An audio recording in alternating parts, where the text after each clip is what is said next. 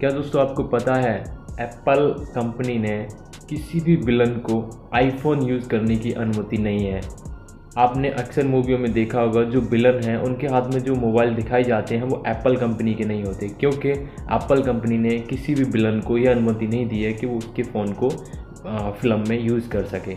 ये फैक्ट जान के आपको कैसा लगा, हमें कमेंट करके ज़रूर बताएँ और वीडियो को लाइक करें चैनल को सब्सक्राइब करें।